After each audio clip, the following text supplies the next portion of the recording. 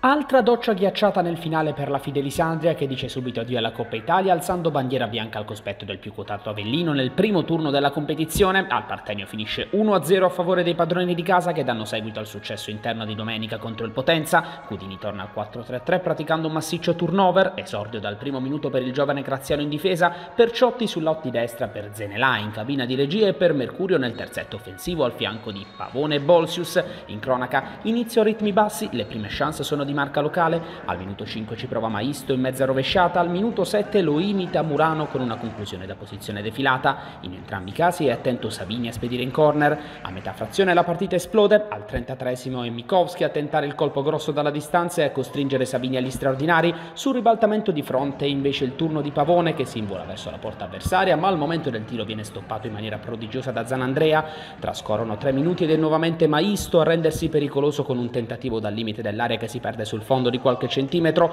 e la penultima emozione di un primo tempo che si chiude con il palo pieno colpito dalla distanza da Murano al minuto 45. Nella ripresa la trama rimane la stessa con l'Avellino che fa la partita e la Fidelis che si difende con ordine per poi ripartire in contropiede. Tra il minuto 41 e il minuto 53 sale di nuovo in cattedra Savini, nel primo caso respingendo una conclusione del solito Mikowski e nel secondo intervenendo con i piedi su una soluzione da posizione defilata di Murano. Il muro pugliese regge fino al minuto 80 quando un calcio d'angolo battuto dalla destra trova con precisione la testa di Zanandrea che insacca e decide l'incontro. Finisce così al Partenio dopo altri due interventi di un Super Savini su Trotta e Murano tra l'89 e il 91 Feste Irpina, lacrime bianco-azzurre, secondo KO di fila per Milillo e compagni, chiamati al riscatto sabato contro il fortissimo Catanzaro in campionato.